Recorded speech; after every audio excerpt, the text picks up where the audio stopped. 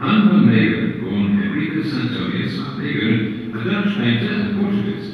During World War II, Van Meegeren sold a painting by Vermeer to Hermann Goering. Following the war, the painting was discovered in Goering's possession, and Han van Meegeren was arrested as a collaborator.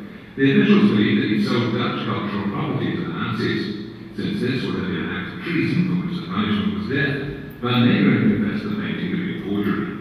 After a brief but highly publicized trial, in which he demonstrated his forgery techniques by painting his last forgery to a panel of experts, Meegeren was convicted of falsification and fraud charges and was sentenced to a modest punishment of one year in prison. He sold work to Hermann Goering Goering, a German politician, military leader, and a prominent member of the Nazi Party.